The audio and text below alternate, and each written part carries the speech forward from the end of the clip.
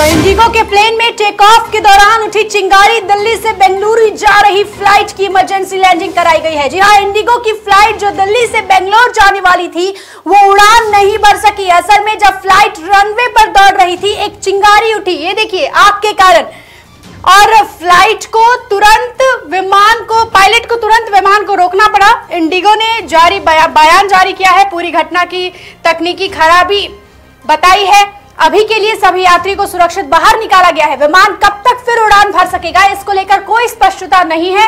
वैसे इस पूरी घटना का एक वीडियो सामने आया है। उस वीडियो में जब विमान टेक ऑफ़ करने के लिए रनवे पर दौड़ता है, तभी अचानक से एक चिंगारी उठती है और फिर आग की लपटें उठने लगती है। जो वीडियो आप इस वक्त अपने स्क्रीन पर देख रहे हैं।